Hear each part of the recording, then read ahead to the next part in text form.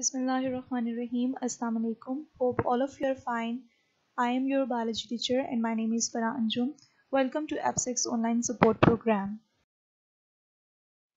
This is week 7, day 2 and our chapter number 7 is bioenergetics. Today the topic of our discussion is mechanism of light reaction. Let's recap this concept while moving toward our topic that is light reaction. So what is photosystem? Photosystems are basically clusters of pigments. There are two types of photosystem, photosystem 2 and photosystem 1 and these are located on the thylakoid membrane. And the plant main pigment is chlorophyll, green pigment. The process of light reactions occurs on thylakoid membrane on which pigment chlorophyll is present for capturing light energy. There are basic four steps in the light reaction. The first step is whenever chlorophyll, chlorophyll molecule absorb light, photosystem 2. First photosystem 2 is used. Okay. Whenever it absorb light, its energy level increases. It gets excited and it emits electrons. How many electrons? Two electrons because it is absorbing two photons of light energy. Then what happens? Creating two holes in the chlorophyll molecules because two electrons are emitted after striking light. Now these excited electrons are passed to electron transport chain and then they produce ATP so the first product of light reaction is ATP. In the same photosystem that is photosystem 2, light also breaks water molecule to produce oxygen.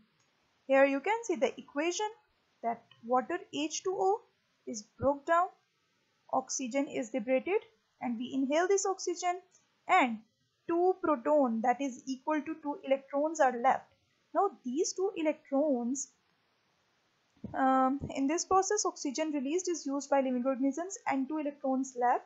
Why they are, where they are used?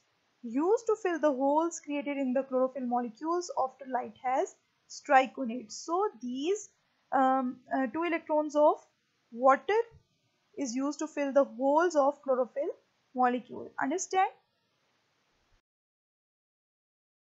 Now again the light strike on the chlorophyll molecule of photosystem 1. Then electrons of chlorophyll get excited after striking on it and excited electron pass to electron transport chain.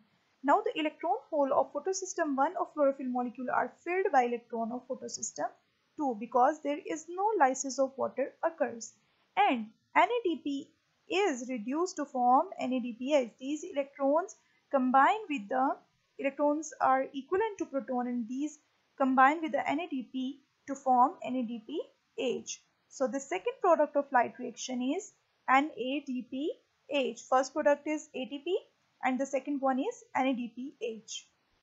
Students, NADPH stands for nicotinamide adenine dinucleotide phosphate. So students, there are two products of light reaction. Number first one is ATP and the second one is NADPH. Here is the diagrammatic representation of mechanism of light reaction. The points are mentioned 1, 2, 3, 4, 5, 6, 7, 8. In the first point, you can see that light strikes on the chlorophyll molecule. Electrons, in the second point, electrons get excited and move toward the electron transport chain. The third one is hydrolysis of water occurs in which two proton fill the uh, fill the holes of chlorophyll molecule.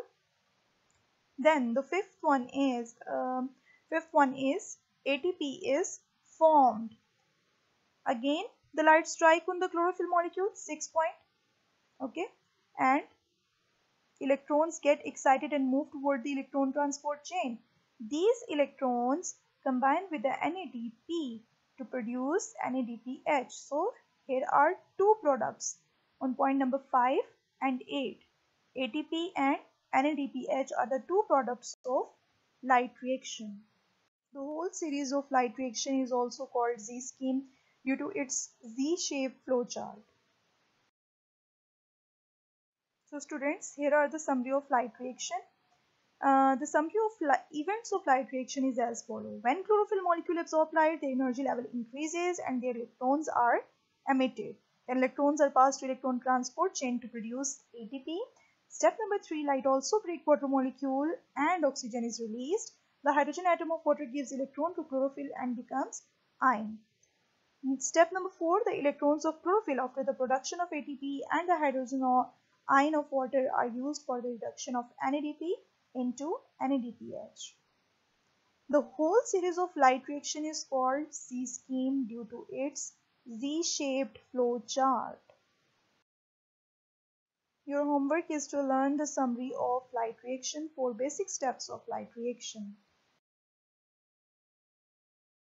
If you have any question related to this topic, you can ask anytime. Thank you dear students. Take care and have a nice day.